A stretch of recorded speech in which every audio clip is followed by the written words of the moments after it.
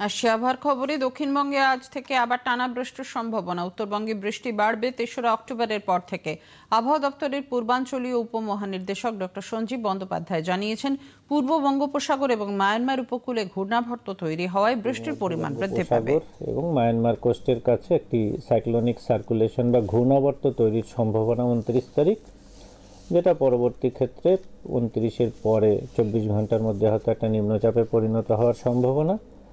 যার ফলে উনত্রিশ থেকে দক্ষিণবঙ্গে বৃষ্টি বাড়বে। তিরিশেও বৃষ্টি থাকবে, এক, একটু কমবে, আবার দুই, তিনেও কিন্তু বৃষ্টি থাকবে। ফলে আগামী পাঁচ দিনের মধ্যে উনত্রিশ তারিখ থেকে যদি আমরা হিসেব করি, তাহলে কিন্তু প্রায় তিন, চার দিন আমরা দক্ষিণবঙ্গে হোয়াইট স্প্রেড কোথাও ফেয়ারলি হোয়াইট স্প্রেড বৃষ্টি পাবো।